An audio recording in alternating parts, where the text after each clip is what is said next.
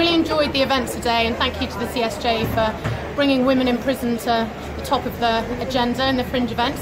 Um, I'm very much looking forward to hearing from the Minister as to what we can do in the short term, in the here and now, the things that we don't need legislation for to make these really important changes. Because whilst we procrastinate and do nothing, people are dying on the inside and society isn't safer on the outside. So we really need to concentrate and get some things done now in the short term.